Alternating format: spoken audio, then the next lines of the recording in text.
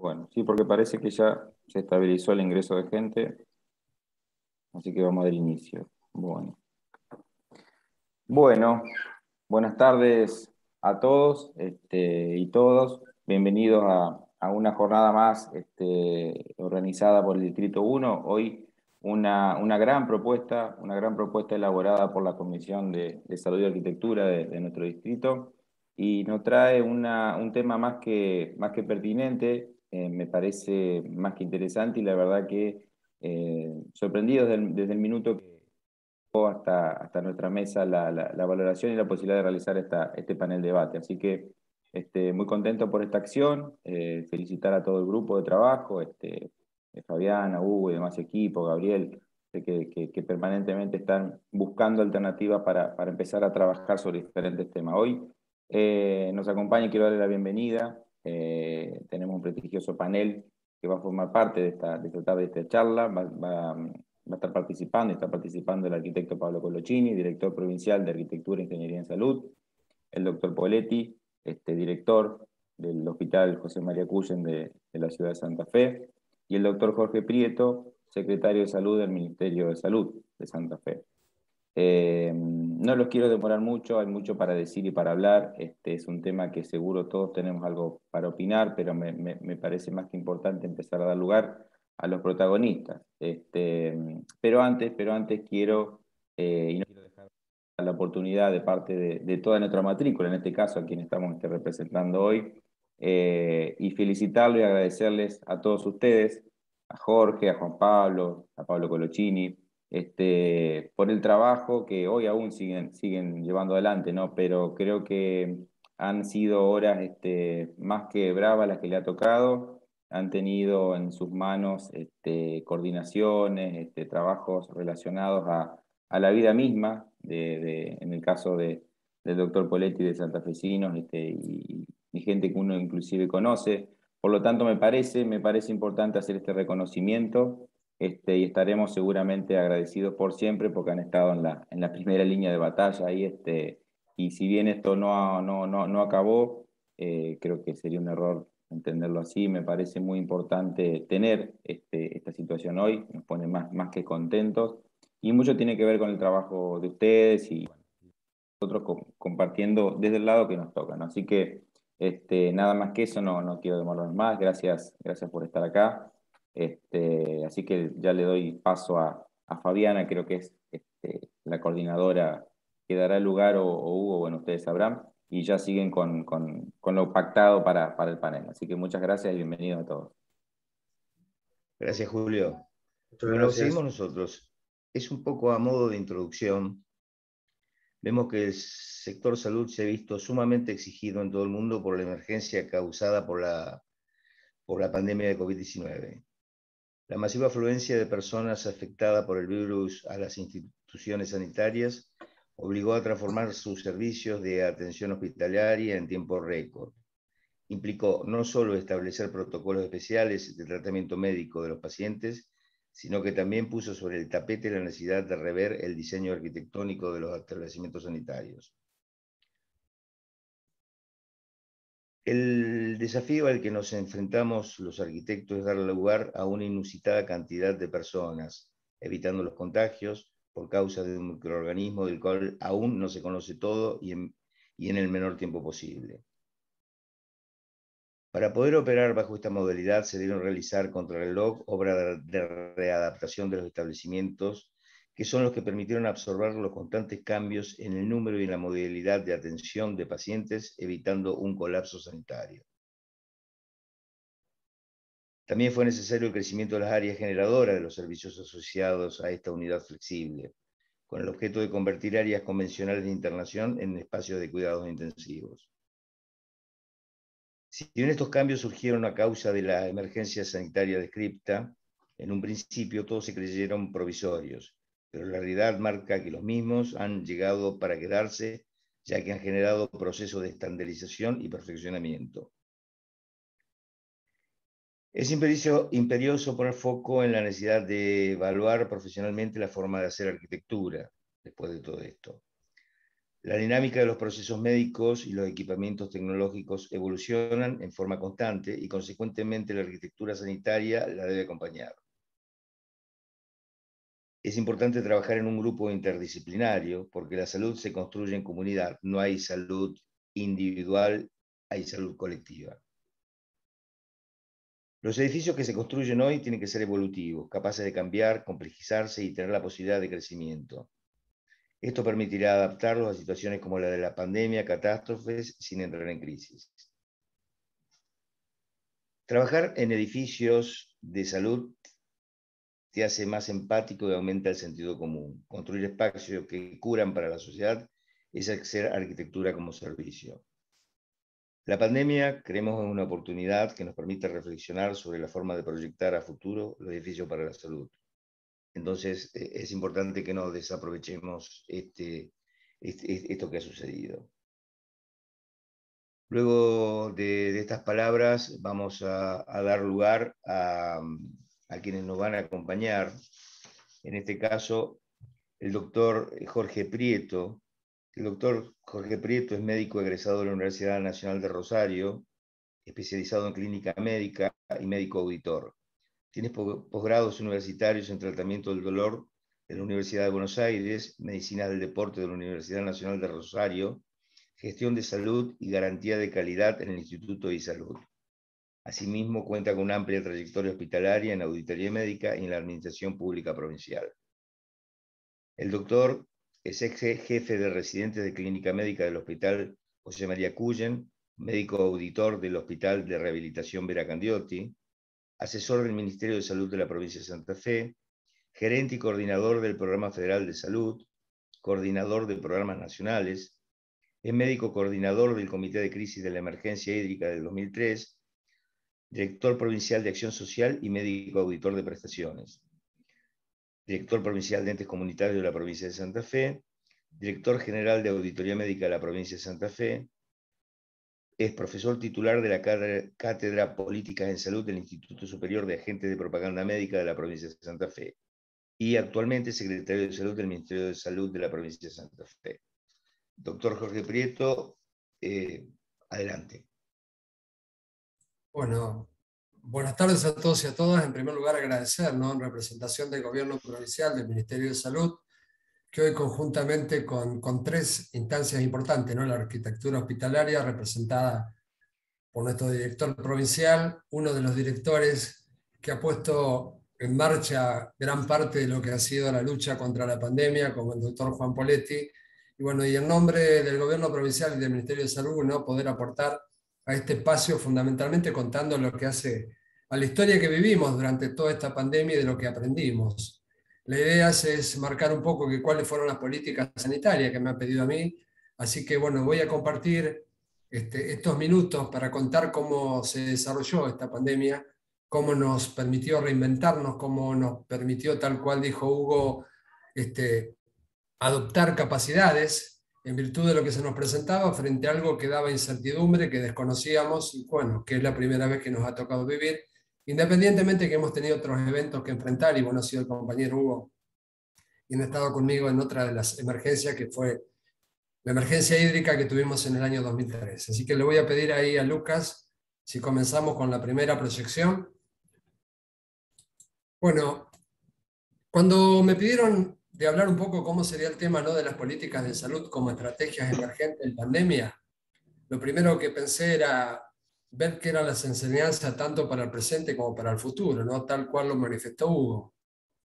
Tenemos que aprender de esto para poder proyectarnos hacia algo que nos puede llegar a ocurrir ante cualquier otra emergencia. Y cuando hablamos de política, eh, esta debe ser la herramienta central, ¿no? que debe potenciar y evitar la fragmentación de cualquier sistema. La próxima, por favor, Lucas. Cuando queremos establecer cuál sería la política sanitaria en la pandemia, no hay nada escrito. Lo primero que tuvimos que hacer nosotros es hacer un abordaje con un diagnóstico de la situación, fortalecer, adaptarnos ¿no? frente al déficit estructural de lo que establecía la salud pública privada, fortalecer las redes para asistir y contener, relevar la arquitectura hospitalaria existente, que esto fue un, gran trabajo para realizar porque potencialmente teníamos que buscar los espacios que podían ser expansibles, observando lo que se necesitaba rápidamente para poder adaptar y hacerlos funcionales. Así que llegamos a ocupar hasta quirófanos para poder montar camas de una terapia intensiva. La próxima, Lucas. Pero tuvimos que planificar y cuando se habla de planificación, se debe considerar hoy lo que es el umbral básico de lo que es la promoción de la salud, para no volver al mundo que existía en lo que establece la prepandemia. El despliegue que hicimos en el abordaje, pensamos en primer lugar en las debilidades que teníamos los efectores en lo que hacía equipos de protección personal, que no contábamos, de equipamiento, de respiradores, de camas. Salir a, comprar en forma masiva elementos que estaban siendo codiciados por todo el mundo, porque esto no solo afectó a Santa Fe, Argentina, sino a todo el mundo, y nos peleábamos por la compra de un barbijo de un equipo de protección. Tuvimos que evaluar cuáles eran las capacidades para el financiamiento, para la asistencia necesaria en lo que sea la estructura, que tengamos equidad para poder desestresar los sistemas, ¿no? porque si algo que se vivió fue nuestros sistemas estresados por un montón de déficits estructurales que teníamos a nivel provincial. Relevar y convocar al recurso humano. Recurso humano que no lo pudimos comprar, no lo pudimos alquilar. Había que convocar a través de, de lo que fueron las convocatorias públicas, de la inscripción para aquellas personas que necesitábamos cubrir en servicios críticos. Por eso fue tan importante durante la misma pandemia que se tuviera que volver a reactivar lo que era la currícula formativa continua, fundamentalmente en las especialidades como la enfermería, que tenían una carrera de término de tres años, reiniciando año por año, por lo menos por estos tres años consecutivos para formar el recurso humano que necesitábamos. Por favor, la próxima, Lucas. Cuando uno habla y piensa en la salud, siempre habla de lo que es la atención primaria, ¿no? con un abordaje territorial, desde lo que hacía desde el territorio hacia el consultorio, de ahí hacia la progresividad ¿no? de los niveles superiores. Pero esta pandemia y esto lo va, lo va a remarcar el doctor Poletti seguramente, se vivió de forma distinta, la vivimos de una forma más centralizada, yo diría centrípeta, desde el nivel central, con internaciones clínicas en servicios críticos, porque se palpó y se vivió una etapa donde los centros de salud, donde los consultorios, donde las guardias ambulatorios, tanto privadas como públicas, eran totalmente expulsivas. Y frente a esto, Frente a esta incertidumbre se puso el ingenio que nos permitió reinventarnos con hechos que marcó la estrategia para dar la contención, para informar, para acompañar, para escuchar y asistir a toda la población. Así surge el famoso call center. Así comenzamos con los primeros pasos de lo que era la telemedicina y lo que era el consultorio virtual para una salud integral. Se comenzó con los aislamientos y los testeos domiciliarios. Esto fue muy importante porque fue la primera medida que desalineamos de la mirada federal del gobierno nacional. No contábamos con estructura, no contábamos con capacidades ni equipos de protección y la provincia de Santa Fe adoptó por aislar a las personas con COVID positivos en sus domicilios mientras que el resto del mundo los internaba. En esta primera etapa fue realmente una de las herramientas virtuales porque hemos trasladado a los pacientes hasta el Hospital Cuyen, le hacíamos los estudios correspondientes y volvían hacia su domicilio.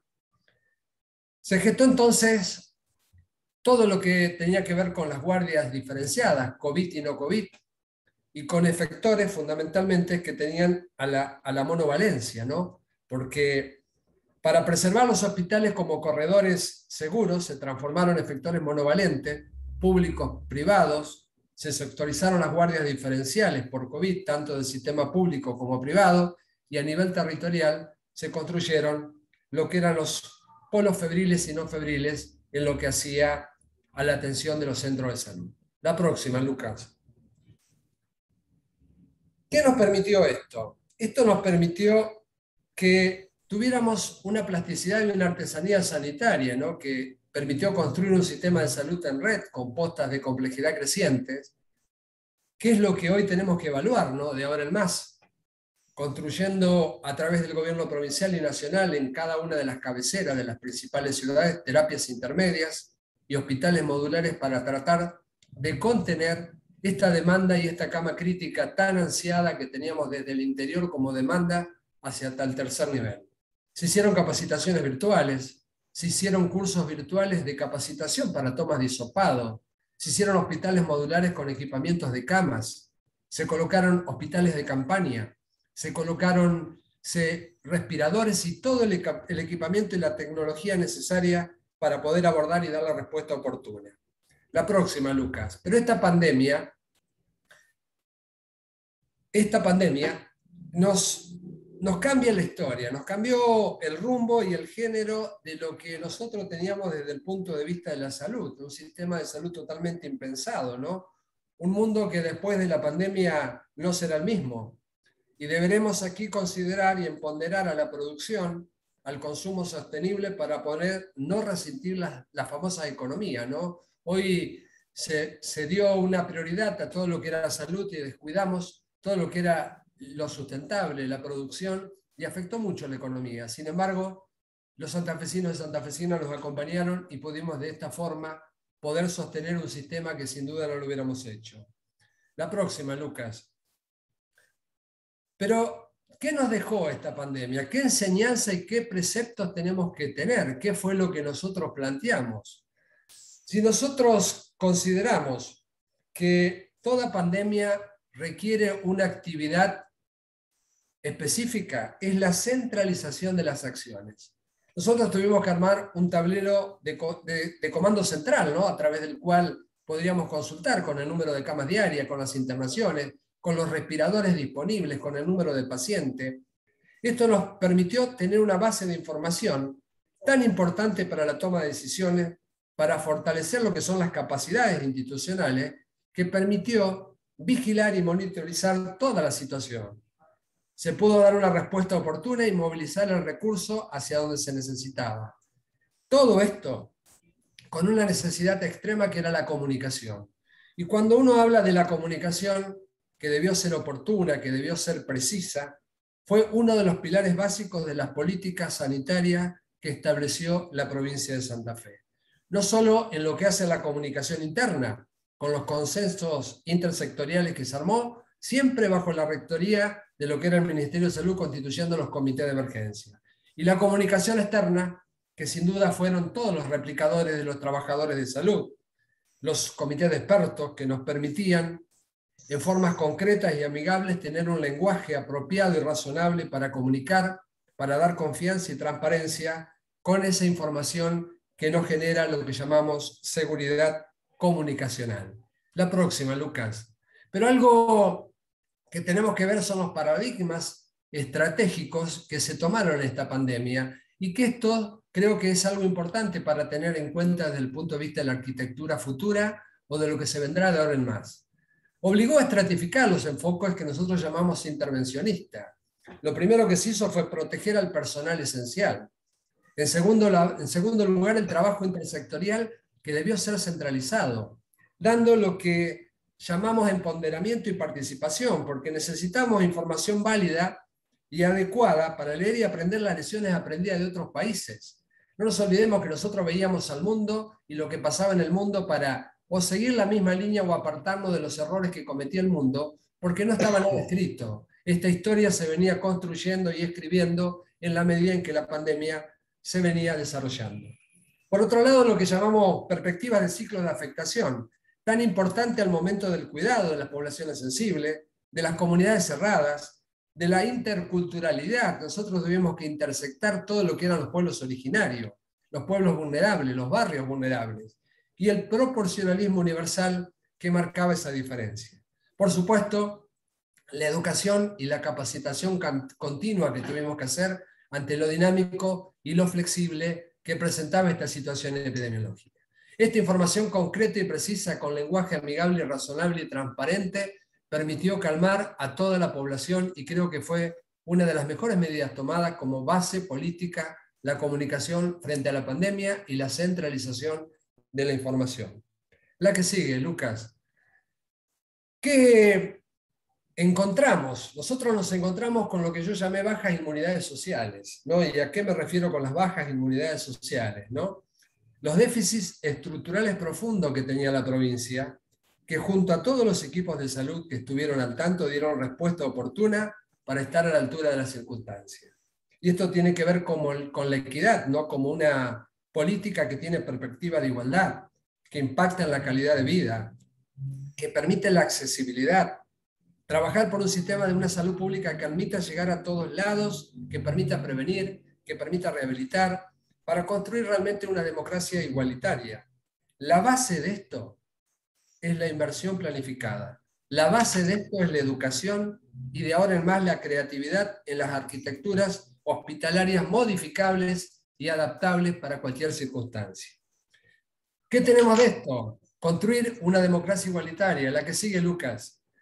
Por eso lo que tenemos que evaluar en las evidencias que dejó la, pandemia, que en el transcurso de esta pandemia indicaron enfoques adoptados por las políticas sanitarias de la provincia que no fueron erróneas, porque una política pública puede o no favorecer el, alcance de una agenda de la política sanitaria establecida, pero no se puede sostener en el tiempo.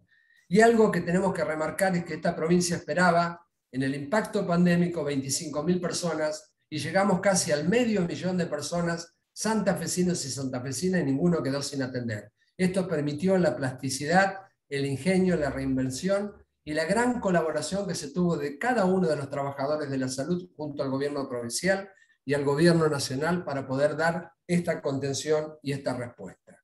Sin duda, un mundo que existía no será igual, pero puede ser más confiable y esto va a depender fundamentalmente del amparo y del resguardo que tiene el Estado como organismo rector.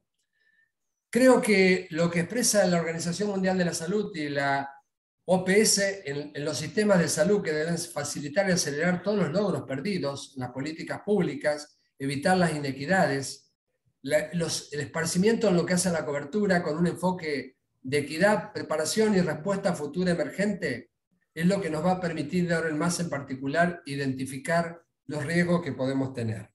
La próxima, Lucas. ¿Qué cultura nos va dejando la pandemia? Que la estamos viviendo. Fundamentalmente dice y nos replantea que la confianza, la solidaridad, el apoyo mutuo, las alianzas intersectoriales, el compromiso, las capacidades de resistencia y de la resiliencia que tenemos cada uno, de proteger a los más frágiles, de fortaleza cualquier sistema de salud. Pese a las dificultades que tuvimos Creo que esto fue una enseñanza que la pandemia nos va dejando y que de ahora en más nos va a implantar que unidos frente a esto hemos logrado objetivos que realmente no lo pensábamos obtener y una respuesta que realmente nos, impactó a todos. ¿no? Por eso creo que frente a este escenario fue necesario identificar y responder a, los problemas, incluso antes de que ellos asuman en, proporciones más grandes, ¿no? epidémicas y replantearnos esto de las ciudades y los hospitales a escalas humanas, evolucionar hacia un futuro cercano que genere calidad de vida, para tener ese completo bienestar que enuncia realmente la salud, ¿no? y valorar en la pospandemia lo persistente, la salud integral y los determinantes socioeconómicos que de ahora en más creo que van a ser el eje político para esta nueva forma de vivir y para esta futura predominancia que vamos a vivir en lo que hace a la prevención. Creo que la inversión en salud debe pensarse como una transformación inteligente, puesto que va a continuar habiendo problemas de este tipo, fundamentalmente cuando estamos en un mundo globalizado, ¿no?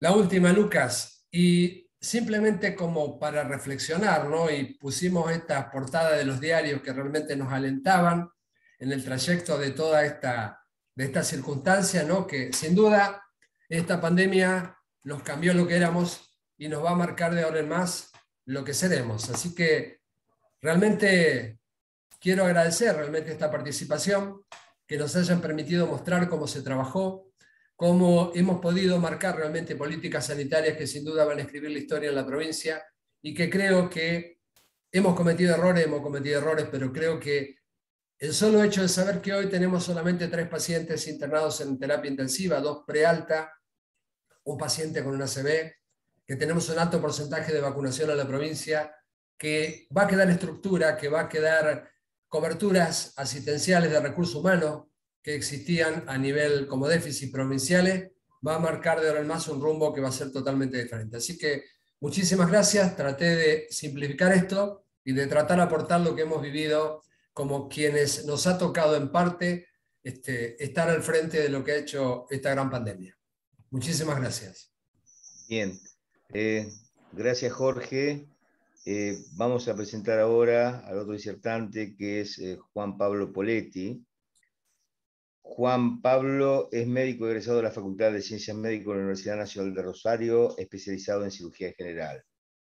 Cuenta con una amplia trayectoria hospitalaria. Es médico eh, fue médico concurrente del Servicio de Cirugía General del Hospital José María Cuyen, médico de guardia del Servicio de Guardias y Urgencias del Hospital María Cuyen, médico asistente voluntario de la unidad de laparoscopía del Servicio de Cirugía General y del aparato digestivo del Instituto Instituto Catalá de la Salud, Ciudad Sanitaria de Bellvitge, Hospital Princesa de España y Hospitalet de Llobregat, Barcelona, en España. Especialista en cirugía general, otorgado por el Colegio de Médicos de la provincia de Santa Fe. Es médico asistente de honor en ayudante de emergencia en el Servicio de Cirugía General Mixta del Hospital José María Cuyen. fue subdirector del Hospital José María Cuyen y actualmente, desde el año 2016, es director del Hospital José María Cuyen. Juan Pablo, eh, adelante.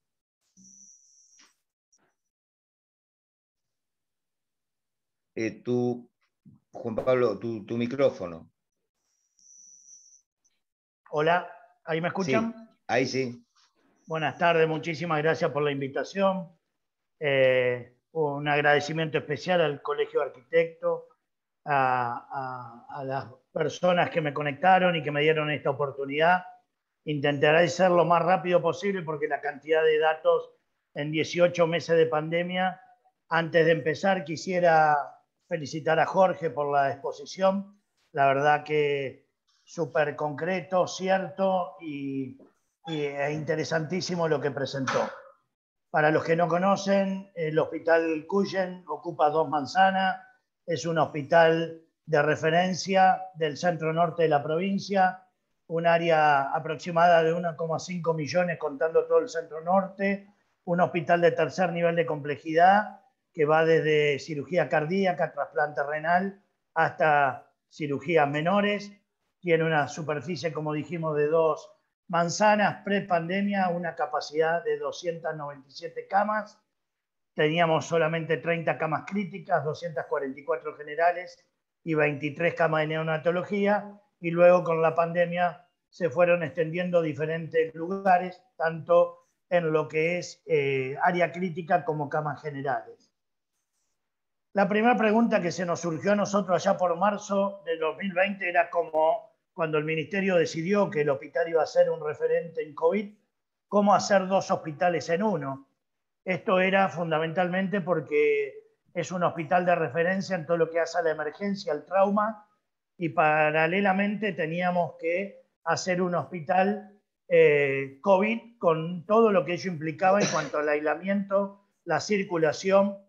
Y es por eso que los primeros procesos implementados en el hospital fueron la conformación del comité de COVID o comité de emergencia, la determinación de áreas COVID y no COVID, qué gestión de camas, como decía Jorge, la modalidad operativa que íbamos a tener nosotros dentro de la red de salud, qué requerimiento íbamos a necesitar si queríamos ampliar los recursos, cómo conseguíamos insumos, lo que dijo Jorge, no era un problema de Santa Fe, el mismo proveedor que nos vendía toda la vida a nosotros para el quirófano, los EPP, ahora eh, equipamiento de protección personal, para los que no saben, ahora eh, eh, tenía que vender la Rosario a Córdoba, a toda la Argentina. era muy difícil conseguir desde un barbijo hasta un camisolín. Establecer protocolos para cada área, ya sea esenciales o COVID. ¿Qué modalidad de circulación en un hospital de 110 años íbamos a tener para que de esta manera protejamos a los pacientes no COVID internados y a los equipos de salud. Cómo capacitábamos a los equipos de salud para convivir o vestirse para un COVID, ya que no todas las áreas saben vestirse con toda la indumentaria de quirófano. Y al haber en la licencia del grupo de riesgo, que fue lo primero que tuvimos, un ausentismo de casi 200 personas, nosotros tenemos 1.800 empleados, casi 240 eran grupos de riesgo y desde que salió el primer decreto dejaron de trabajar y cómo hacíamos la gestión para los reemplazos de esos recursos humanos. ¿Qué objetivos teníamos? El principal era garantizar la seguridad del personal. Si el personal nuestro se nos infectaba, no teníamos con qué hacer frente a la pandemia. ¿Cómo hacíamos para garantizar la seguridad de los visitantes y de los residentes? Que no se habla de los residentes médicos, sino de los pacientes internados en el hospital, cómo aumentar la capacidad de respuesta del sistema al brote de pandemia y cómo disminuir el riesgo, que esto es una de las cosas que más nos preocupaba, que un hospital con pabellones, con 22 camas una al lado de la otra, cómo hacíamos para que el hospital no se convierta en un centro amplificador del mismo brote. Estas acciones fueron, como dije, la, la conformación de un comité, la contracción, construcción de una red de información. Y en algo tan simple como esto, les digo, había muchísimas salas que no tenían un grupo de WhatsApp. Y en este momento nosotros estábamos con una información ante un virus que era sumamente mutante, era inesperado, era eh, totalmente eh, eh, un virus que, que causaba mucha incertidumbre. ¿Cómo hacíamos para comunicar una información acerca de si un área iba a ser COVID o pasaba a ser COVID o no COVID un sábado. Bueno, se creó que obligadamente todos la sala del hospital, tanto los jefes de médicos como no profesionales, debían tener un grupo de WhatsApp al que nosotros armamos un grupo de jefes no, no médicos y otro grupo de jefes médicos, a donde toda la información del COVID iba a esos grupos y era obligación que aún el último personal de limpieza debía enterarse de las novedades del hospital y qué área pasaba a ser COVID o no COVID para poder garantizar la circulación correcta. Organización de las medidas asistenciales y sobre todo lo que dijo Jorge también, la preparación de la planta física.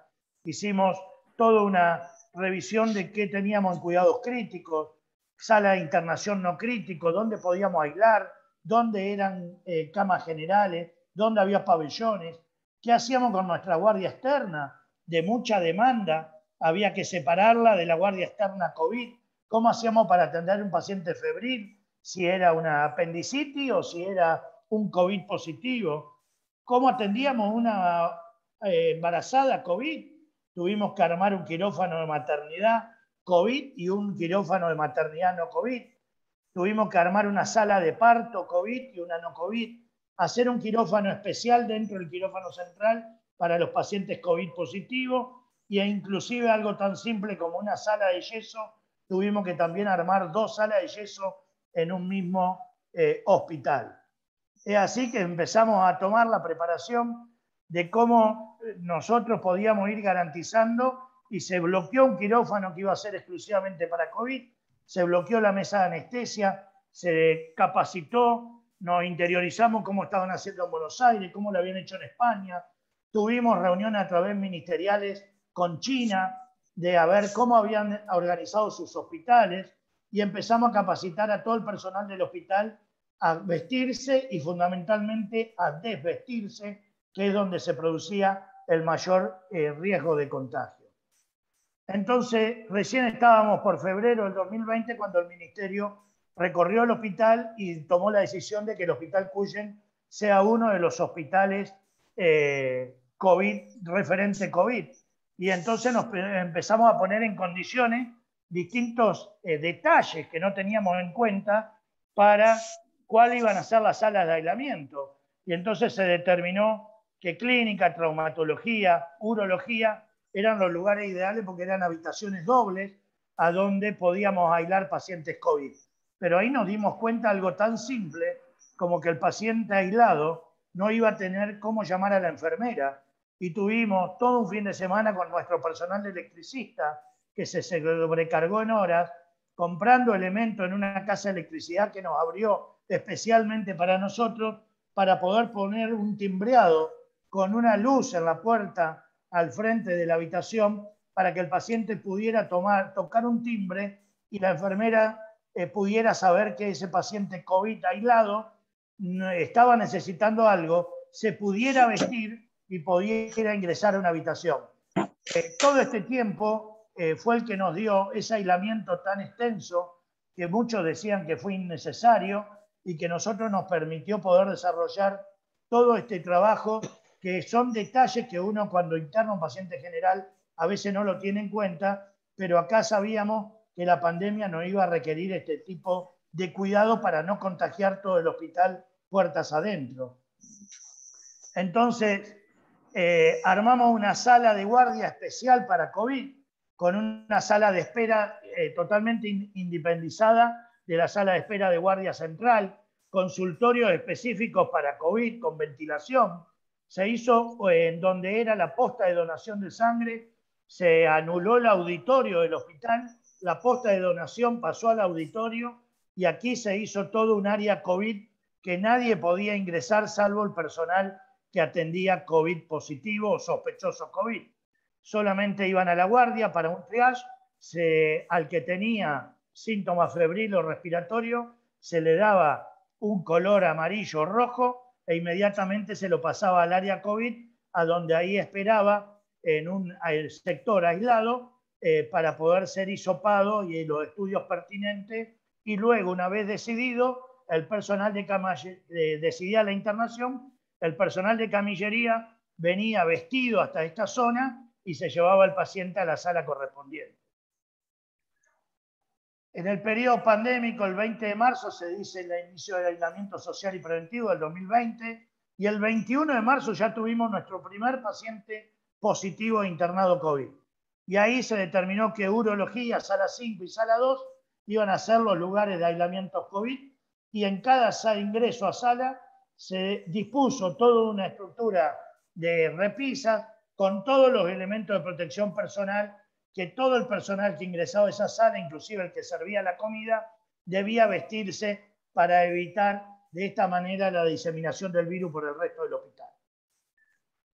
Esto es un poco lo que hicimos en el plan de contingencia, gestionar recursos humanos, capacitar, como dije, a los 1.800 empleados, hasta la gente de mantenimiento recibió capacitación porque se nos quemaba un tubo fluorescente o se tapaba un baño y ese personal debía saber vestirse y de vestirse para entrar a la habitación del paciente COVID positivo, la gestión de insumos de PP, reorganizar actividades esenciales y no esenciales. Esto significó suspender la cirugía programada, suspender el consultorio programado, dividir los residentes, suspender los ateneos de sala y que se hagan pases de sala virtuales, que se hagan pases de sala a través de Meet o Zoom.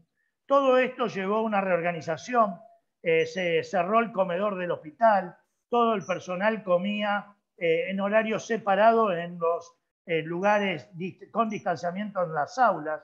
Bueno, fue toda una logística que nos llevó horas y horas de trabajo. Esto un poco para que vean un número, solamente esto es del 2020, pero fundamentalmente, fíjense, de enero a junio del 2021, 8.300 consultas en el área COVID. Esto significa eh, eh, realmente lo que se ha trabajado con ese total de hisopados y el ingreso a UTI y sala general. Mm, hago un párrafo especial en UTI porque, como dijo el doctor Prieto, eh, realmente el área COVID, perdón, el área crítica es el lugar más estrecho de capacidad de respuesta que tenía la ciudad de Santa Fe por las pocas camas críticas que teníamos tanto en el privado como el público. Y es donde en todo el mundo se había visto que había muchos lugares donde se habían quedado sin respiradores y había quedado gente sin respirar y gente en los pasillos con tubo de oxígeno cuando debía estar en una terapia. Entonces, nos fuimos preparando en marzo, en, el 2020, para la primera ola que recién llegó a nuestra ciudad allá por octubre o noviembre del 2020. Esta es nuestra terapia, que la llamamos UTIA, tiene 12 camas y fue la terapia que históricamente la terapia con más complejidad y que la dejamos no COVID.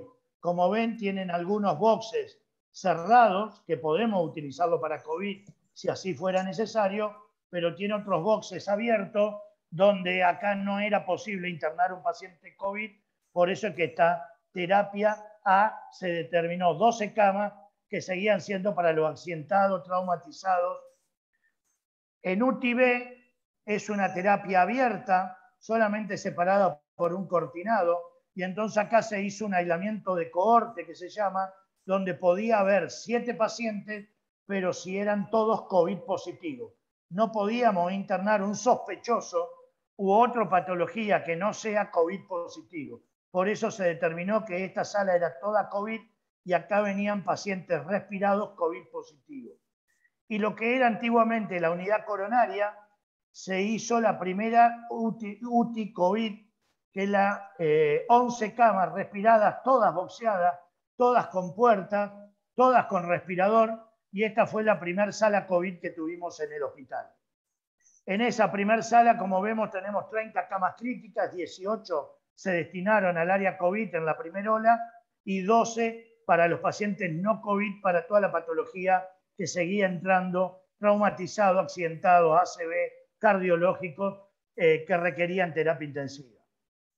Allá por noviembre del 2020, la primera ola, vimos que las 18, eh, perdón, 18 camas COVID positivo estaban siendo escasas para el hospital, por lo que una sala de cardiología, que era una sala general de cinco camas recién inaugurada para internación general, una obra de la Sociedad de Beneficencia, se adaptó como terapia intensiva, cinco camas críticas más, para poder llevar las camas críticas a 23 camas COVID positivo.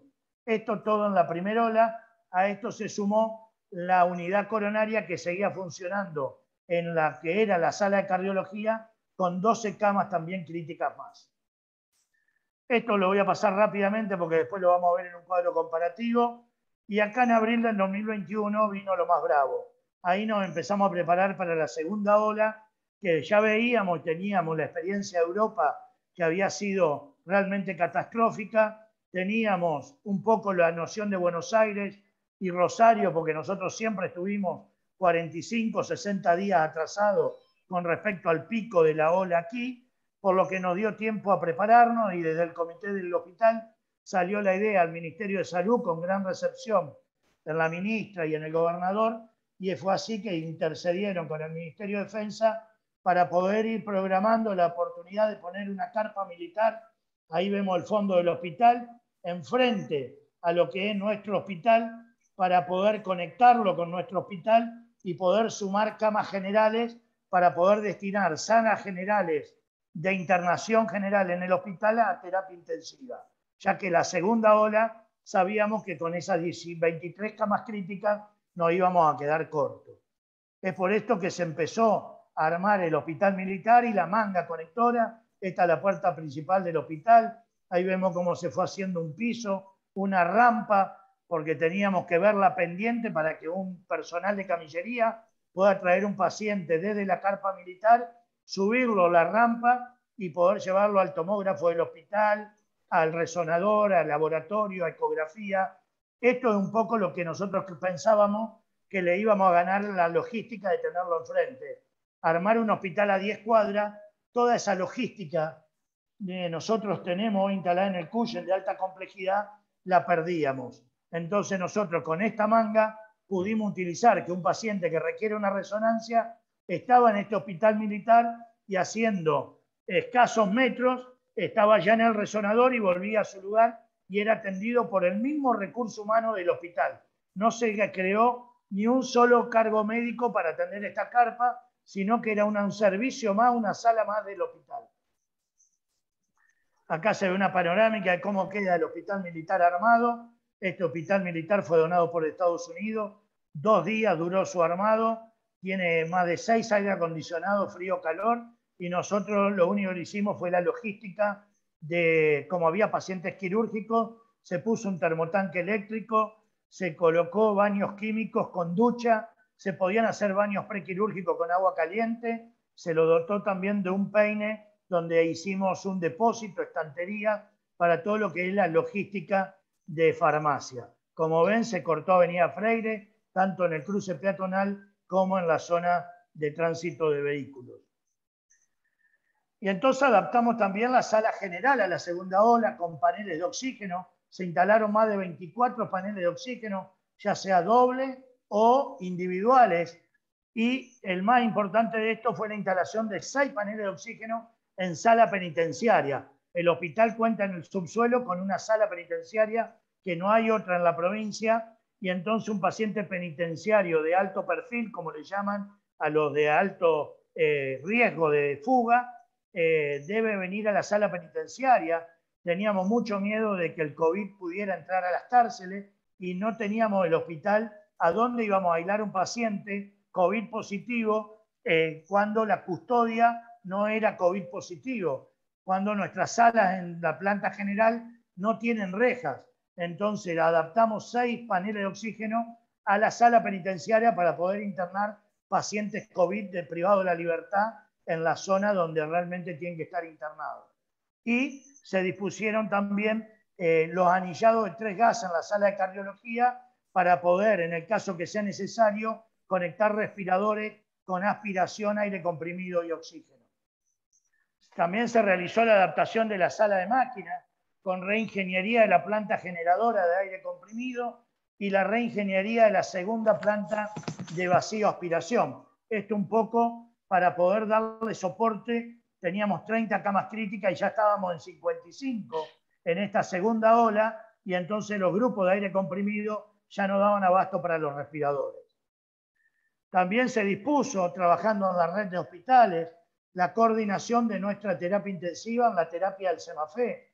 Y así, en solo ocho minutos y esta distancia de recorrido por calle Mendoza, podíamos pacientes que eran no COVID y que nos estaban ocupando un lugar en nuestra terapia, con una ambulancia que teníamos en el hospital 24 horas, se dispuso con coordinación del Ministerio de Salud la apertura de la terapia intensiva en el SEMAFE para pacientes no COVID, ocho camas que realmente coordinadas con la nuestra terapia eh, podíamos hacer un backup importante cuando se necesitaban camas y el paciente COVID ya tenía el alta epidemiológica y seguía respirado, y se lo derivaba al SEMAFE y quedaba la cama libre para un nuevo COVID en el hospital. Y por último, la última terapia que tuvimos que armar en cuanto al área crítica, este es un pabellón de sala 7 de cirugía, tiene 22 camas generales en la normalidad y acá un domingo tuvimos que abrirla con 8 camas críticas respiradas y hacer una terapia intensiva en lo que era una sala y con esto llegamos a las 55 eh, camas críticas respiradas en el hospital. Pero como también teníamos 100% ocupación, tuvimos que adaptar una parte de la sala de guardia, eh, perdón, de la unidad coronaria, de lo que eran 12 camas de unidad coronaria, todas no COVID, se tomaron 6 camas, dos habitaciones, para hacer las 6 camas más COVID. Esto fue por junio del 2021 y dejamos solamente 3 camas de terapia intensiva para no COVID y a coronaria le quedaron solamente tres camas para unidad coronaria. Cuando llegó a ocuparse todo esto, tuvimos que armar una terapia intensiva en la sala de observación de la Guardia Central, donde se habilitaron cinco camas más COVID positivos respiradas en la obra nueva del hospital inaugurado hace dos años. Y esto nos permitió llegar a un total de 60 camas críticas respiradas en el Hospital Cuyo. Esto es un poco lo que quería, si a ustedes les interesan los números, quiero ir rápido porque ya me estoy extendiendo, pero esto es fundamental. En, la primera ola, en siete meses, entraron 163 pacientes COVID a, la terapia del Hospital Cuyen. Y en la segunda ola, en un solo mes, entraron 73 pacientes. El promedio de edad de la primera hora fueron 58 años y en la segunda 51 años bajó el promedio de edad la mortalidad global subió 46,6% en la primera ola, 65% de mortalidad en la segunda. Esto es porque el virus fue mucho más agresivo y eh, eh, tomó personas más jóvenes. Necesidad de asistencia respiratoria mecánica, el 84% de los pacientes requirió en la segunda ola y la mortalidad en la asistencia respiratoria mecánica no cambió. Solamente para que vean, esto es ECMO. ECMO es una máquina que tiene únicamente un, dos hospitales públicos en el país, uno está acá en Santa Fe, lo tiene el Hospital Cuyen, pero para que ustedes vean la tecnología y el espacio físico que requiere armar una cama de terapia intensiva. No se puede hacer en cualquier lugar. Nosotros atendimos cinco ECMO durante el COVID, de los cuales dos fueron eh, vivos con alta hospitalaria y eh, tres fallecieron. De estos dos, eh, realmente no hay muchos datos en el país. Insumos, quiero que vean esto solo, barbijos quirúrgicos, 596 mil barbijos lleva el hospital usados, gastados en ocho meses en el hospital público.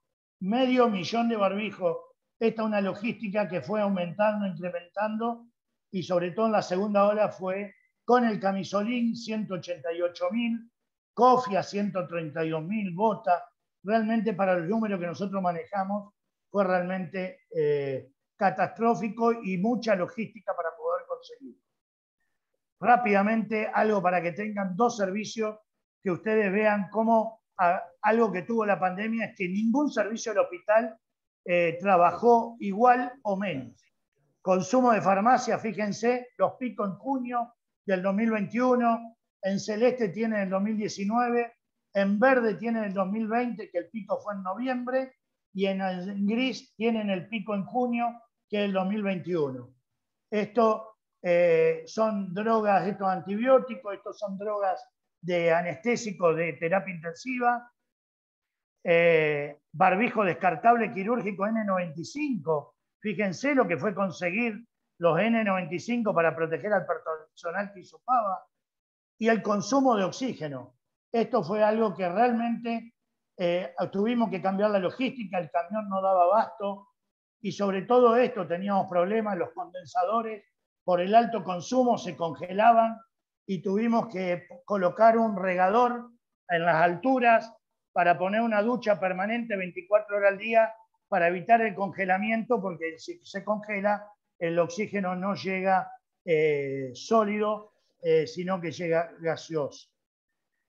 Quise poner una estadística de lavadero, un servicio que nada tiene que ver con el asistencialismo, pero para que ustedes vean, en terapia pasó en el 2019 de lavar 750 sábanas a lavar 1.800 sábanas, con la misma máquina, con el mismo recurso humano, Acá no se reforzó con ningún recurso humano el lavadero y estas fueron las cifras. En unidad coronaria de 600 sábanas pasamos a 1.200 mensuales. En sala 2, que fue la sala de internación COVID, también casi el doble. Y también en la sala de guardia, que era donde estaba la internación, la observación COVID. Y a su vez, nosotros, eh, a pedido del ministerio, hicimos la lavandería extrahospitalaria de todo lo que eran los mamelucos del 107 800 mamelucos por mes y 100 mamelucos por mes de los hisopados, los que hacían hisopado en el SEMAFE, lo que daba un total de 1.000 mamelucos por mes que nosotros estábamos eh, eh, lavando. Esto solamente lo remarco porque un sector como lavadero, costurero, camillería, realmente fue, vio incrementado su trabajo exponencialmente y muchas veces en silencio, en la sombra, sin que nadie lo nombrara. Esto fue gracias a todo, y acá termino, a un trabajo en equipo. Esto es el Consejo de Administración, estarán los, el Comité de COVID. Funcionamos de lunes a domingo durante ocho meses a las nueve de la mañana, todos conectados. Había 14 jefes de servicio. Y un poco, esto es lo que digo, cuando hay un trabajo en equipo, se hace porque es necesario unir fuerzas para poder eh, de esta manera eh, dar batalla yo voy a emparentar todo este esfuerzo que se hizo con un deporte que a mí me marcó y me sirvió mucho para poder, eh, para poder dar o gestionar esta pandemia, que es el rugby. Este es un deporte y es una formación donde 8 contra 8 se disputan una pelota, pero si a nosotros nos toca disputar esto, aunque todos empujemos para el mismo lado y nos toca encontrarnos contra un virus poderoso como es esto, que serían acá los All Blacks, el mejor equipo de rugby del mundo, posiblemente estemos en desventaja y perdamos este empuje, perdamos esta batalla.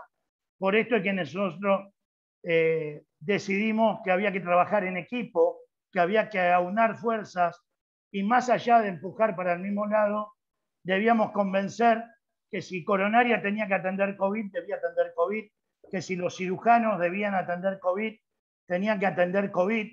Entonces nos multiplicamos para poder emparejar esta lucha contra un poderoso y es así que eh, los cirujanos se convirtieron en clínicos, atendieron COVID, la enfermera que atendía la sala 7, ese pabellón que vimos, de un día para el otro estaba atendiendo terapia intensiva. La gente de terapia intensiva que estaba cómoda en su UTIA fue a capacitar a sala 7 y mezclamos todo el personal de terapia con la gente de sala. Y el camillero tuvo que multiplicarse porque los traslados se multiplicaron. Y este es un poco eh, el, mensaje que queremos dar, que no solo a veces sirve empujar todo para el mismo lado, sino que nos tiene que tocar a veces hacer un trabajo que no es el nuestro, pero que si la sociedad y la población lo necesita, allí tenemos que estar. Muchas gracias. Gracias, eh, Juan Pablo. Eh, vamos a pasar ahora al arquitecto Pablo Coloncini, que es egresado de la Facultad de Arquitectura, Planeamiento y Diseño de la Universidad Nacional de Rosario. Cuenta con trayectoria en la docencia y como profesional en el ámbito privado y en la función pública. Es ayudante de cátedra del proyecto arquitectónico 3 de la Facultad de Arquitectura, Planeamiento y Diseño de la Universidad Nacional de Rosario, docente titular del Sistema de Representación en la carrera de Bioseguridad, Higiene y Seguridad Laboral, profesional en relación de dependencia en estudios de arquitectura y constructoras, titular de BIRCOL, Arquitectura, Estudio Particular de Arquitectura y Diseño, contratista en obras de salud pública en la ciudad de Rosario para el Ministerio de Salud, integrante de la Oficina de Coordinación de Obras del Hospital Provincial del Centenario, actualmente desde el año 2020 es director provincial de Arquitectura e Ingeniería en salud del Ministerio. Del ministerio. Eh, adelante, Pablo. Hola, buenas tardes a todos. Bueno, antes que nada, muchas gracias al colegio, eh, eh, al contacto de, un compañero, Gabriel Perrone, que trabaja en, la oficina junto, a, junto a mí, junto al doctor también Jorge Prieto, que nos realizó también la, invitación junto a Fabiana, eh, bueno, a Julio, eh, que lo conozco de, una charla que tuvimos para un, en el colegio para un convenio. Ya te voy a volver a llamar esta semana, así que. Eh, bueno, agradecerles a todos. bueno, espero estar al ser, por lo menos tocarle los, talones a, Jorge y a, y a Juan Pablo, que son grandes grandes exponentes de, tienen su, trayectoria, su currículum y no, es fácil exponer atrás de ellos, ¿no?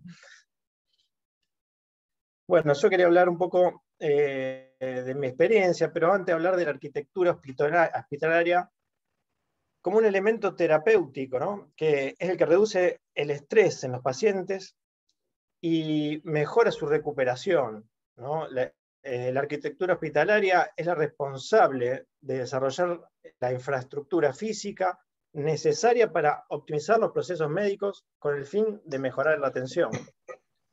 Eh, anteriormente, visualizando nuestros efectores en la provincia, eh, se ha concebido la arquitectura hospitalaria solo para brindar atención, por la cual los edificios tenían formas puras, no eran ostentosos con, con un modelo funcional. Hoy se comporta de acuerdo a los procesos médicos eh, aliados a la tecnología y a una evolución constante. Eh, existe una, revolución en la concepción del diseño de hospitales, dentro de los cuales estamos escuchando constantemente hablar de hospitales verdes, hospitales inteligentes, hospitales modulares. Eh, bueno, todos forman parte de la construcción actual, ¿no? Esta pandemia nos obligó a la reinvención, a la reconstrucción inmediata y nos obligó a repensar la política de estados para prever la construcción eh, hospitalaria evolucionando a gran velocidad con respuesta a las necesidades. Eh, la intención de nuestra fue lograr un buen entorno asistencial y pensamos que se logró desarrollar, que tuvo emplazamiento sostenible, que generó protección y respuesta, que se optimizaron recursos, equipamiento, tecnologías, eh, que dio contención, como decía Jorge, al 100% de la población. Eh, la, inversión realizada en, salud para la adaptación esta funcional, arquitectónica, que tuvieron que sufrir los efectores con la aparición de la pandemia, eh, fue pensada de, manera que la transformación de los efectores sanitarios puedan adaptarse a la situación actual y que rápidamente puedan volver a hacerlo en un futuro, ante nuevos inconvenientes que eh, puedan aparecer. Y como también mencionaba Jorge, en un mundo globalizado como el que vivimos, eh, es evidente que puede llegar a, volver a pasar otra, otra desgracia de estas. mi experiencia con respecto a, a la pandemia, eh, comienza en, el Hospital Centenario, eh, en Rosario, en la Oficina de Coordinación de Obras, con, con las noticias que llegaban del resto del mundo. Bueno, comenzamos rápidamente obras de ampliación y refuncionalización de, todos los servicios, pero eh, la mayor obra fue en la guardia de, urgencia y emergencia del mismo efector siendo este uno de los efectores de salud más importantes de la provincia, no, no podíamos dejar eh, tan, tan importante servicio, tan gran servicio eh, a la comunidad, solo para atención de casos COVID, que también lo explicaba Juan Pablo, ¿no? que eh, adaptar una guardia COVID, una guardia no COVID, y todo se duplicaba. así que esa fue la decisión de construir una guardia paralela a la existente, eh, primero mejoramos la que estaba y luego construimos otra existente, eh, donde duplicamos showrooms, salas de observación, salas de espera con sanitarios, eh, admisión, vestuarios, donde prestamos especial atención fue en las circulaciones, en los recorridos del personal, donde los recorridos del paciente, el descarte, la vestimenta y el descarte de los equipos de protección personal, los EPP que nombraba Juan Pablo, el aseo. Eh, todo eso en conjunto con, todos los, eh, especialistas ¿eh? Dentro del hospital y el ministerio que nos asesoraban. Aquí fue mi primer contacto con la, con la ministra de Salud, Sonia Martorano, y el señor gobernador de la provincia, Mar Perotti, en los cuales nos, nos visitaron en una visita de obra, ¿no? Eh, estuvimos charlando, visitamos la obra y tuvimos una reunión. Y bueno, luego, una vez que concluyó esa obra del, Hospital Centenario, donde ya teníamos armado no solo la guardia, sino eh, la UTI, diferentes, también como nombraba eh, Juan Pablo, tuvimos que hacer adaptaciones para los partos. obstetricia fue un, un servicio que creamos una manga con un un triage fuera del, hospital, eh, bueno, todas esas cosas que, fuimos adaptando. Eh, y bueno, vino, vino, una vez concluida esta obra, vino el llamado de, Sonia, de la ministra, para ocupar el, cargo de director provincial, en el cual estoy hoy en día. Eh, acá comenzó un arduo trabajo contra el reloj para la construcción de un sistema de salud en red que, compuesto de complejidad, eh, con asistencia creciente distribuidas en las principales cabeceras, eh, con terapias intermedias y hospitales modulares.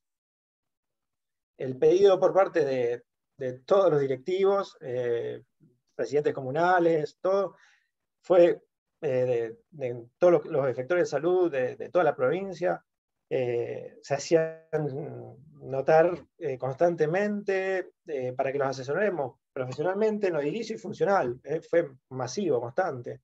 Nos encontramos con hospitales, zancos, eh, centros de salud con grandes falencias edilicias y un deterioro notable por falta de inversión en mantenimiento y mejoras por años y años. Eh, bueno, de esta manera, lo puede decir, está Gabriel ahí, desde que forma parte de la, oficina, eh, salimos al territorio con todo el equipo, arquitectos, ingenieros, técnicos que conforman la oficina de la dirección, a relevar los mismos, planificarlos, hicimos intervenciones eh, rápidas y que puedan mejorar esas circulaciones de paciente para evitar los contagios innecesarios. Eh, así como también los circuitos eh, para el personal mismo, ¿no? el personal mismo de salud, que entren y salgan de las áreas contaminadas de manera segura. Se generan también salas de aislamiento, salas de procedimientos, lugares de testeo, lugares de, de testeo de admisión, los cuales los, poníamos próximos al ingreso, ¿no? al efector, para que no, no, no recorran el interior del mismo. Eh, se incrementaron las camas críticas eh, de terapia intermedia y generales, eh, con oxígeno medicinal. La mayoría de estas localidades hoy cuenta con camas generales con oxígeno o terapia intermedia, lo cual es de valiosa importancia, porque ambas, en ambas se utiliza el alto flujo con cánulas y se utilizan los cascos Helmer. Entre marzo de 2020 y la actualidad, ahora a ver si le puedo compartir, eh, ¿Cómo compartir la pantalla? Se sumaron 315 eh, eh, camas críticas. acá tienen el, gráfico de diciembre de 2019, cuál era la situación, y en la actualidad. Acá hay un mapa de la distribución, ¿no? nos encontramos eh, yo acá lo tenía, eh, nos encontramos con, eh, con camas críticas en hospitales de tercer nivel y, en efectores de nivel de menor complejidad, algunos de ellos que no contaban con ninguna cama crítica, a pesar de ser hospitales nuevos. por ejemplo, en Venado Tuerto pasamos a tener 30 camas, de 8 que había. En Reconquista, 15 le sumamos. Duplicamos la capacidad. ¿eh? En las parejas no había ninguna y pasaron a dos. En seres no había ninguna y hoy hay tres. También tenemos los casos de los hospitales como eh, el de Rafaela, ¿eh? el que contaba con cinco camas críticas, hoy hay 40. En Villa Gobernador Galvez, que hoy en día es, en población es la tercera ciudad de, de población. No había, y hoy existe una UTI con toda la complejidad para ocho camas. Eso fue una obra que se hizo en 45 días. Eh, en Armstrong no había, y hoy hay ocho. En Villa Constitución y Granadero Begorria con los hospitales modulares. Eh, tuvimos la experiencia de, la construcción de, hospitales modulares. Eh, en Villa Constitución pasamos de 5 a 17. y en el Eva Perón de Baigorria se sumaron 30 camas eh, de terapia intensiva. Eh, todo eso en 45 días, eh, la verdad que fue una, muy linda experiencia y, que, se llegó a, a dar respiro. Y dentro de los hospitales de tercer nivel, se recuperó gran parte del viejo hospital Iturraspe. estaba, bueno, al, al construirse de nuevo, este se desarmó, eh, estaba en unas pésimas condiciones, el es terrible, y en menos de un año se recuperó gran parte, eh, con lo cual se lograron, si no me equivoco, 26 camas. Pablo, eh, Pablo, perdón. Creo que ha tapado el micrófono. Se empezó a escuchar recién muy bajo. A ver, ¿ahora me escuchan? Sí. Ahí está, gracias. ¿Me escucha bien? Sí. Sí. Bien, disculpen. Le decía que en el, durante la gestión se recuperó el viejo hospital Iturrape en gran parte, se incorporaron 26 camas, eh, siempre hablando ¿no? de camas críticas. Eh, en el nuevo Iturraspe logramos pasar de 20 a 40. Eh, bueno, en el Hospital Centenario de 14 a 40. En el Hospital Provincial que se hizo una obra muy grande de recondicionamiento, eh, por sobre todo de la, parte de UTI y la guardia, que se, destinaron a COVID, eh, en la cuales se hicieron muchas eh, adaptaciones en la parte de lo que era el acondicionamiento térmico, ¿no? la climatización, y, la presión negativa que había que generar en esas salas.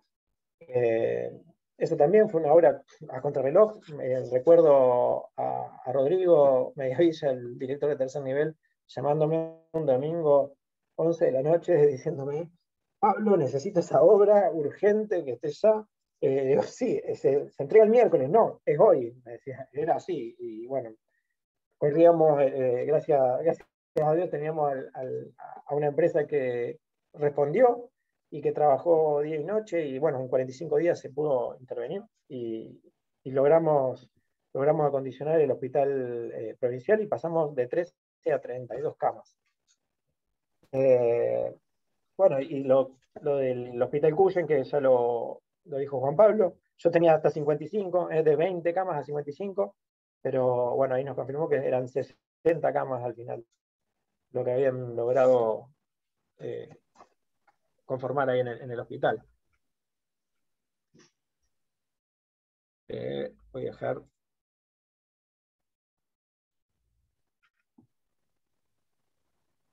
No sé si me equivoco, Juan Pablo, pero me parece que eran, eran habías dicho que tenían 60.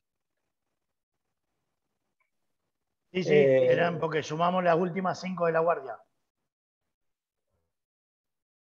Bien, bien, bien.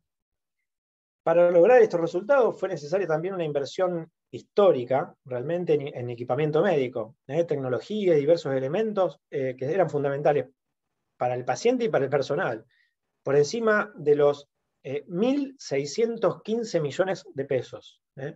Entre los cuales no entran todo esto que acaba de mostrar en las estadísticas Juan Pablo, ¿no? material descartable, equipo de protección personal, ni nada similar. Eso, los 1.615 millones fueron todo de equipamiento médico. la incorporación del sistema de hospital modular nos deja esta enseñanza ¿no? que, de que el tiempo es muy valioso y que la incorporación de los esquemas constructivos repetitivos y de, rápida ejecución son clave en casos como estos, donde la salud para las personas no puede esperar a tiempos tradicionales de la obra. Eh, es por eso que estamos perfeccionando estos primeros prototipos que, que, hemos largado, y que los mismos se van a instalar en varias ciudades más del territorio santafesino para dar mayor respaldo eh, a las camas generales que hoy en día están eh, con oxigenoterapia eh, ya instaladas. Todo esto no solo se trata de invertir en más camas, sino también de fortalecer la atención en cada localidad. La infraestructura que construimos queda en cada una de ellas y potencia a los efectores, proveyendo a la, población local de mayor calidad de atención. ya no nos basamos en la centralización por nodos, sino que ahora cada localidad de cada región cuenta con estas postas en las cabeceras de su departamento, eh, pudiendo eh, los pacientes tener una atención más próxima a su domicilio, conservando el arraigo, eh, el acompañamiento de los familiares, evitando traslados a las grandes ciudades que, tal vez son innecesarios, y los cuales producen colapsos en los vectores de tercer nivel. inutilizan las ambulancias, generan gastos para el familiar y para las comunas, que muchas veces son los que eh, cargan con esos costos. Otra de las tareas relevantes que tuvimos durante la pandemia fue la creación de, de, laboratorios, de laboratorios de biología molecular, que se instalaron en distintos puntos de, cada región de la provincia. También a contrarreloj, eh, diseñábamos y, arrancábamos esas obras y se equipaban. Eh, estos llevaron a cabo los procesos relacionados con el análisis molecular eh, para la determinación del material eh, genético debido a la pandemia ocasionada por el coronavirus. La importancia de esta determinación es la alta efectividad y la rapidez con las cuales se puede llegar al diagnóstico rápido y al tratamiento en pos del paciente.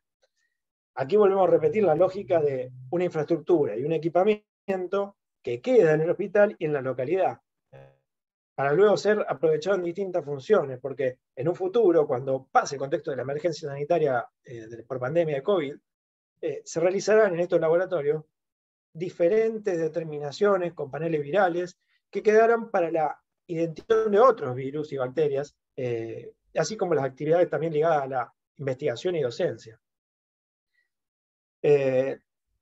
también estamos pensando y construyendo en la gestión guardias de 24 horas en localidades que hoy no cuentan con ese servicio y realizando prototipos eh, de centros de salud más eh, abiertos a la comunidad, con salas de espera ventiladas, iluminadas, algo que también lo hablaba Jorge, eh, con diferenciaciones de las circulaciones, por un lado la pública, por el otro la técnica médica.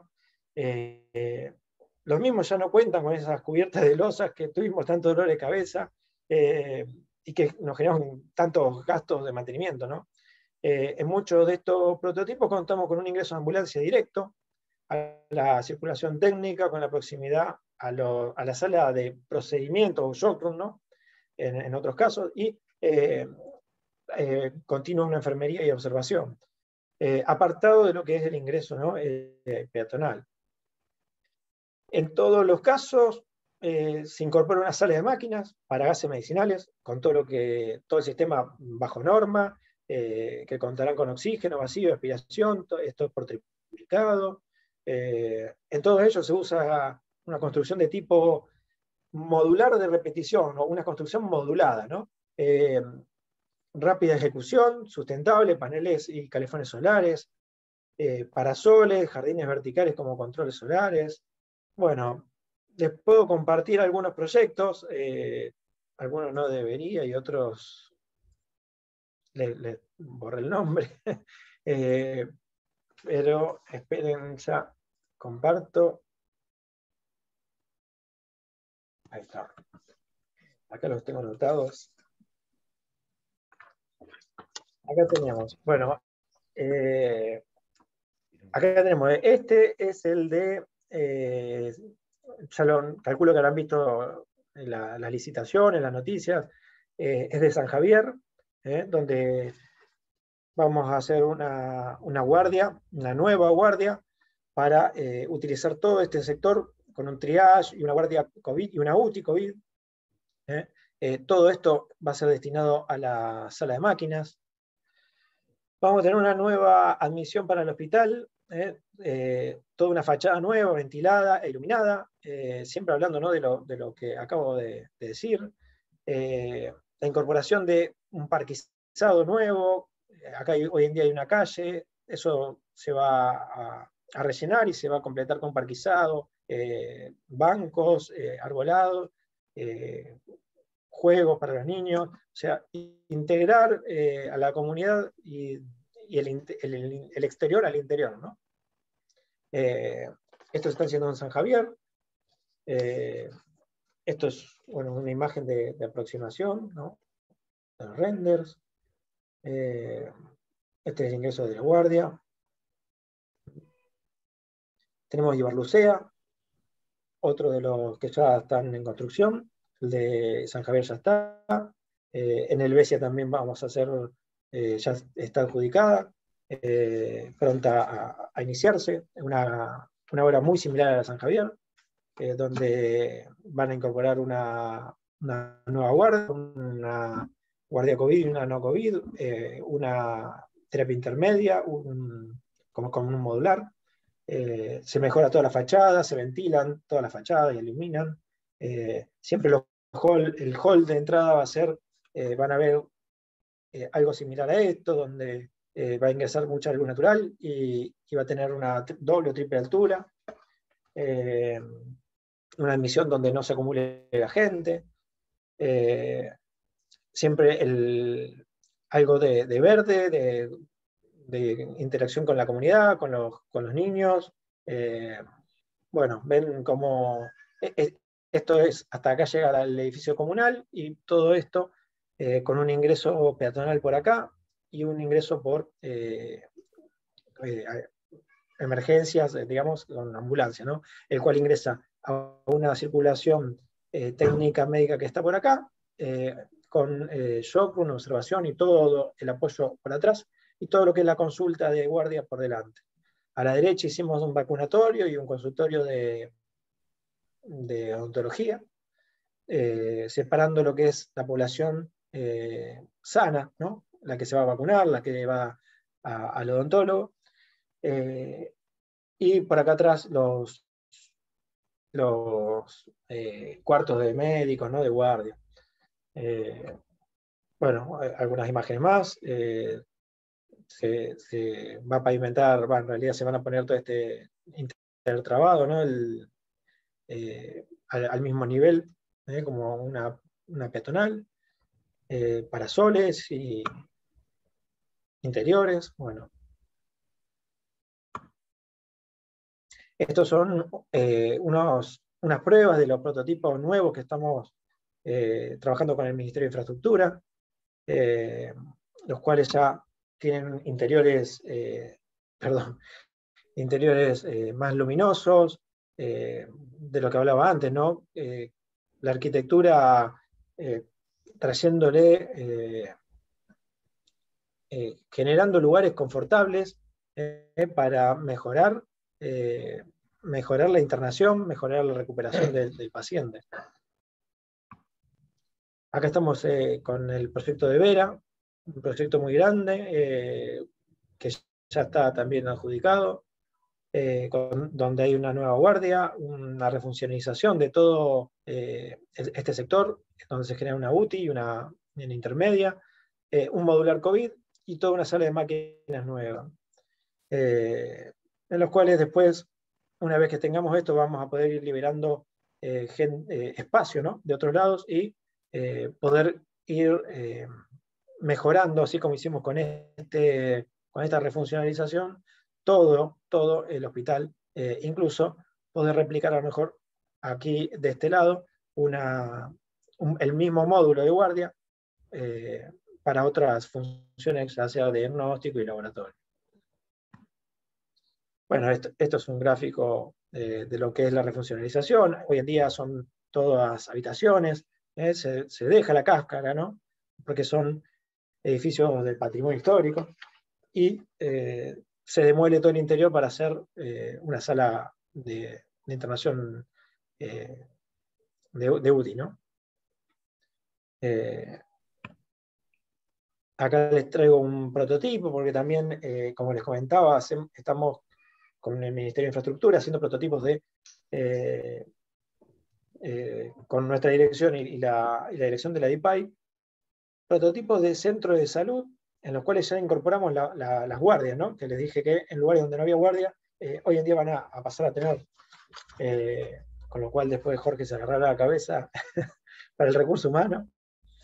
Eh, pero bueno, les cuento un poco cómo son estos prototipos. Un ingreso donde tenemos un gran hall, donde también puede ser un articulador para eh, durante momentos donde no funciona el, el, centro de salud, pueden generarse eh, charlas informativas para el personal, como una especie de Zoom, pero ya no, no es cerrado todo el vidrio eh, hacia el exterior, eh, las consultas, eh, rayos, incorporamos rayos, toda la consulta de, guardia y de, y, de consultas de, otras especialidades.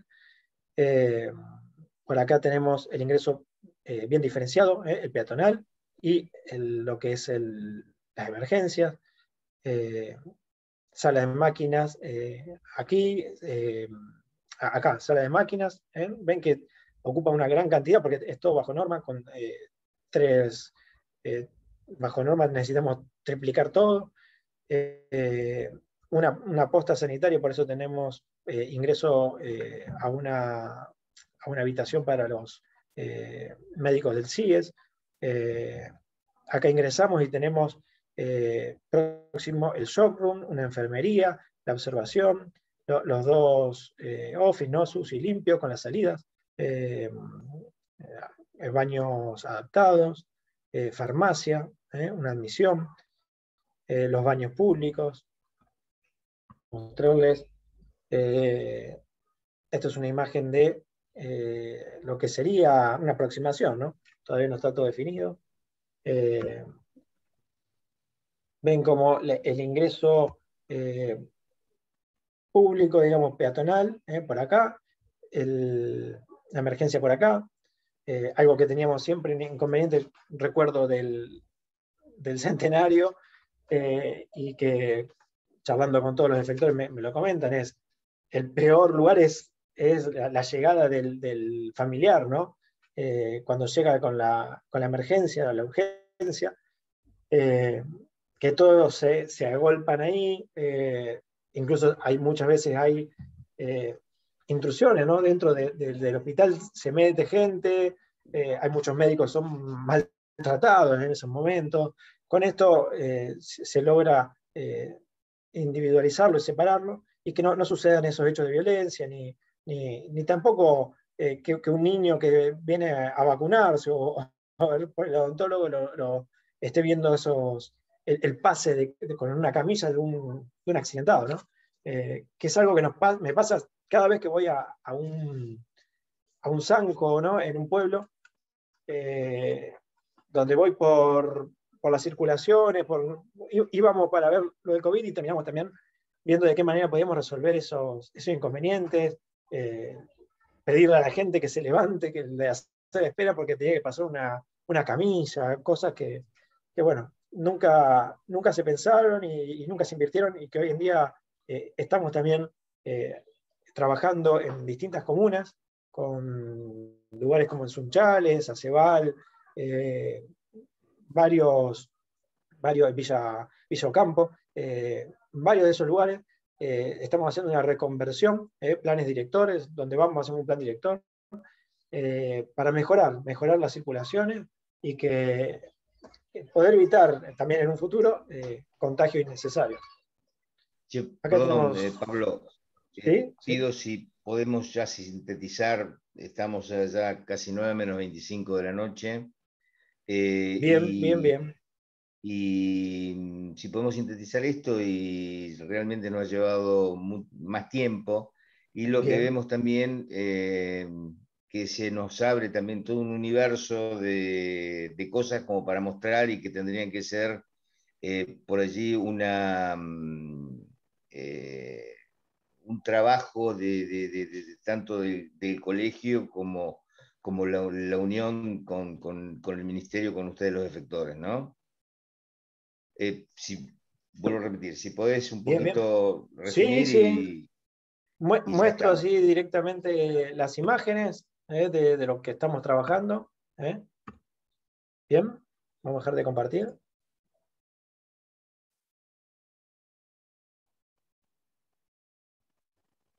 Bueno,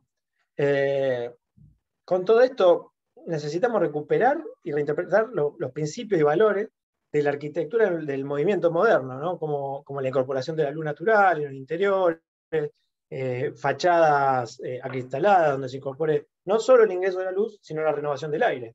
Eh, también la relación con el entorno, la creación de patios y espacios verdes. Eh, hoy lo hablamos previo, ¿no? Eh, esto de los patios que hablaban del Cuyen, ¿no? incorporarlos, darle un mejor aspecto. todo esto pensando tanto en mejorar la hospitalización del paciente como así también en, los profesionales de la salud y proyectarlos hacia un futuro. ¿no? por eso hablaba de eh, como la arquitectura como elemento terapéutico. Bueno, como bien creo que habías dicho vos, ¿no, Hugo? Eh, que hay que aprovechar esta situación, me lo anoté, eh, hay que aprovechar esta situación que, que nos creó la pandemia, ¿no? que, que vivimos con la pandemia, tomarlo, como dijiste, esto es una oportunidad para reflexionarlo, y, y, proyectar edificios a, futuro, digamos, con, con esto como, como habías nombrado porque hay que saber que la arquitectura incide en la salud mental y física ¿eh? de las personas. Y que necesitamos un entorno que sea sostenible, considerando que se deben eh, repensar la forma de proyectar espacios. Está bien, bueno, Muchas gracias. Gracias a vos.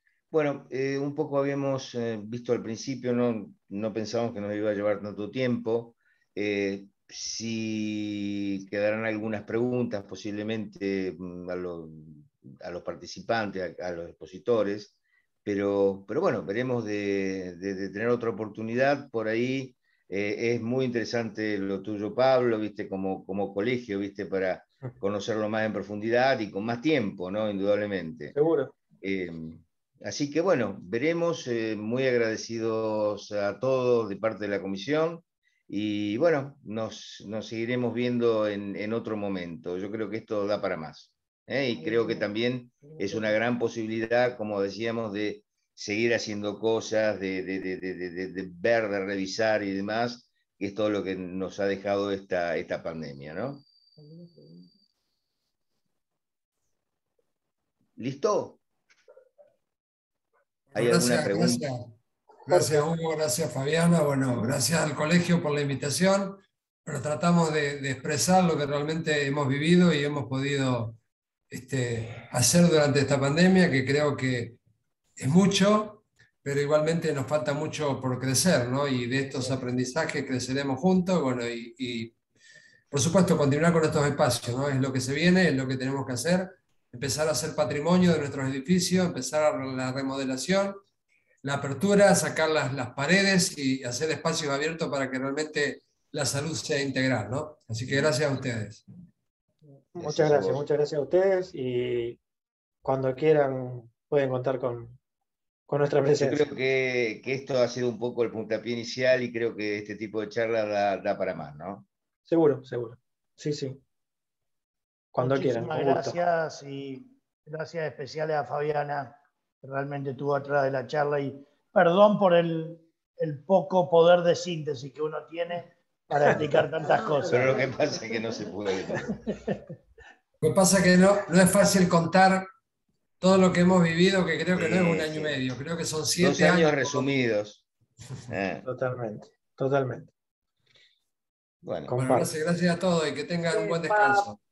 Discúlpeme, para despedirlo pido un fuerte aplauso, no por la calidad del panel solamente, que es excelente, sino realmente reconocimiento a los, a los a todos los, al personal médico, no médico, al paramédico, a todo el personal que hizo, que realmente en la exposición del doctor Poletti, que ha sido excelente, eh, realmente uno está acostumbrado a escucharlo cómo comunican los programas de radio de la mañana pero realmente ahora se toma dimensión y uno pone en conocimiento, toma conocimiento realmente de las cuestiones que ninguno se las, siquiera se las imagina. Así que de mi parte les sugiero a todos los colegas despedirlo con un fuerte aplauso. Bien. Muchísimas gracias. Eh, gracias a todos. Muchísimas gracias a ustedes.